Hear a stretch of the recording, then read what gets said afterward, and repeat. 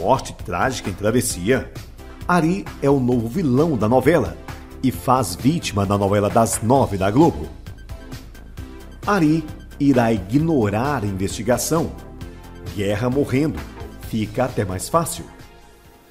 Ari irá se transformar no vilão de Travessia, depois do capítulo 100 da Trama das Nove da Rede Globo, escrita por Glória Pérez. Este capítulo deve ir ao ar no dia 2 de fevereiro. O arquiteto vai ser suspeito de ter mandado explodir o carro de guerra, Humberto Martins, deixando o ricaço entre a vida e a morte na novela das nove da Rede Globo.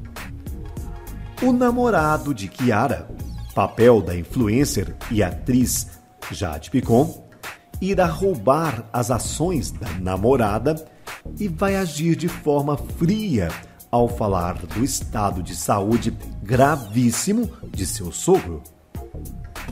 Ari, na verdade, vai mudar o seu comportamento para causar uma reviravolta na trama. Glória Pérez autora da novela, criou um atentado à bomba e vai fazer muito suspense sobre quem cometeu o crime. Uma bomba relógio vai ser colocada no carro de guerra. O veículo irá explodir e capotar. A autora irá deixar no ar que o culpado pelo atentado que o ricaço terá sofrido pode ser Ari. O arquiteto vai estar com muita raiva porque Guerra vai ter negociado a guarda de Tonho. Seu tom sombrio irá chamar a atenção de alguns personagens da novela. Gil, Rafael Losso, irá ficar abismado com a forma fria com que o arquiteto irá falar do milionário.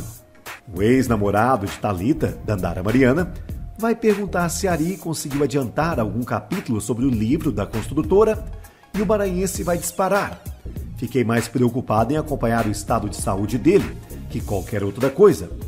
Vamos ver como é que isso anda. Seu Guerra morrendo, fica até mais fácil.